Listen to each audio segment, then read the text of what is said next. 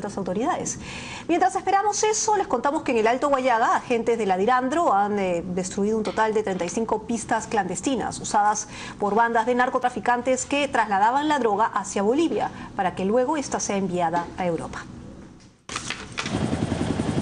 Sobrevuelos en el Alto Guayaga de los agentes de la Dirandro hoy han desbaratado cuantiosos envíos de droga hacia Bolivia con destino final a Europa.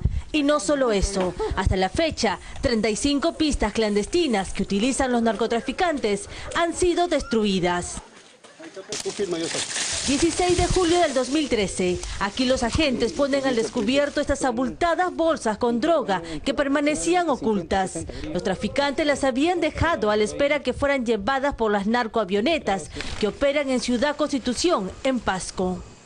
En este momento se, procede a hacer la prueba de campo y descarte de droga. ¿Y en otra prueba de campo?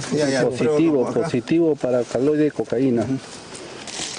Junto a la ilícita mercadería, los efectivos encontraron cinco escopetas retrocarga regadas por los alrededores de la pista clandestina. Pero además descubrieron la cabaña que habrían utilizado los integrantes de esta organización criminal para empaquetar el clorhidrato de cocaína, cuyo costo en Europa puede llegar hasta los 50 mil dólares por un kilo. El resultado de la operación fue el decomiso de 91 kilos de clorhidrato de cocaína. ¡Gol! ¡Aquí es! Semanas antes, otro duro golpe al tráfico ilícito de drogas en Ciudad Constitución Palcasu, en Pasco.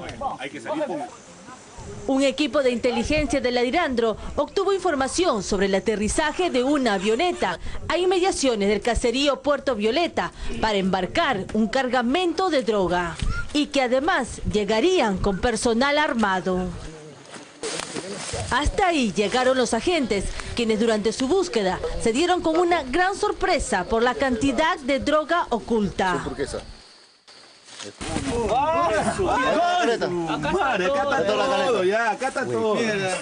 Fueron 373 kilos de alcaloide de cocaína que estaban listos para su envío a Europa.